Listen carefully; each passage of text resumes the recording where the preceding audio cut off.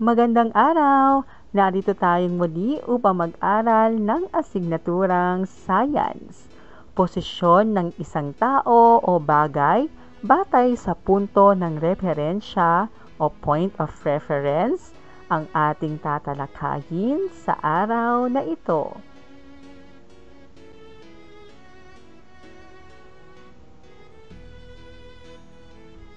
Mahalaga na malaman mo ang punto ng referensya o point of reference para masabi mo ang posisyon ng isang tao o bagay.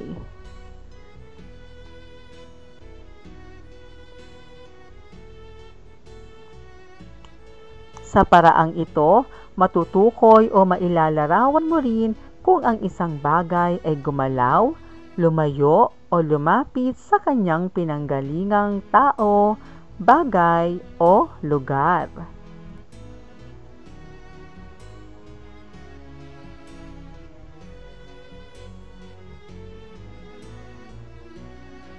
Masasabi mong gumagalaw ang isang bagay o tao kapag natukoy mo ang pinagmulan na posisyon.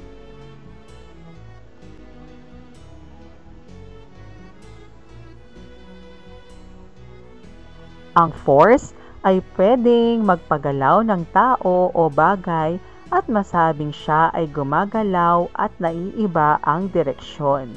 Ang galaw ay pwedeng mahina, mabagal, o mabilis.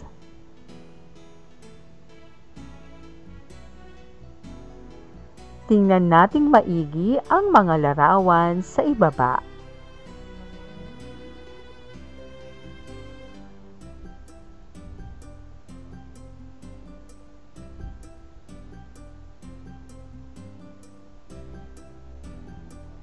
Saan nanggaling ang bata? Ang bata ay nanggaling sa kanilang bahay at ang oras ay alas 7 ng umaga.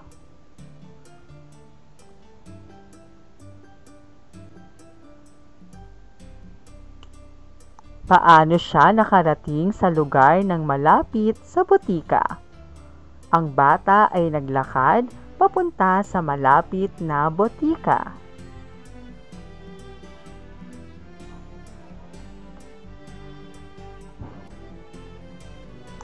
Malayo na ba siya sa bahay nila? Kung pagbabasihan natin ang oras mula sa kanilang bahay na alas 7 ng umaga at oras na nakapunta siyang butika na 7.25 ng umaga, masasabi nating malayo na ang bata sa kanilang bahay.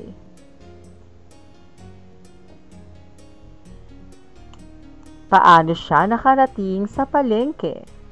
Nakarating ang bata sa palengke sa pamamagitan ng paglalakad.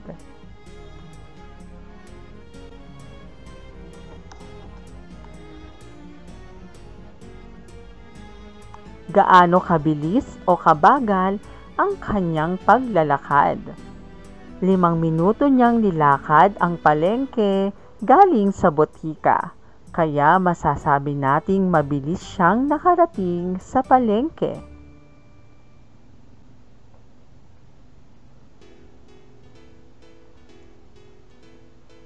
Gawin natin. Ilarawan ang makikita sa bawat larawan, sagutin ang mga tanong.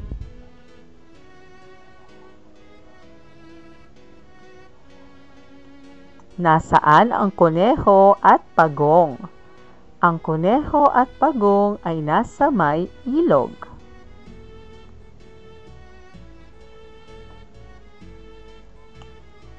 Nasaan ang kuneho sa larawan?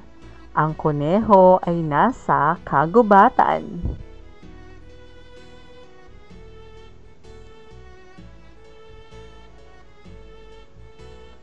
Guma Gumagalaw ba ang kuneho? Paano mo nasabi? Opo, gumagalaw po ang kuneho dahil mula sa tabi ng ilog papunta sa kagubatan at sa larawang ito ang kuneho ay nasa kabundukan.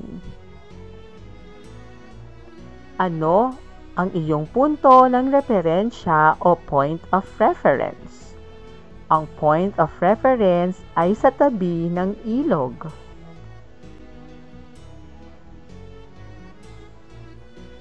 Pag-aralan ang mga larawan.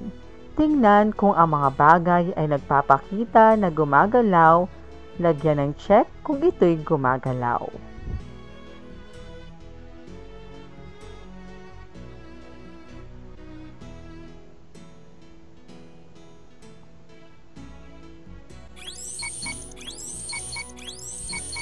Ang larawan ay nagpapakita ng paggalaw.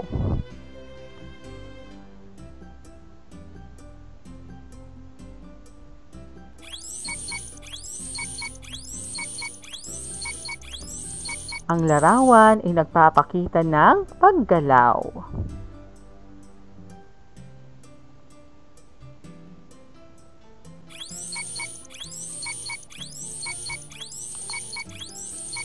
Ang larawan ay nagpapakita ng paggalaw.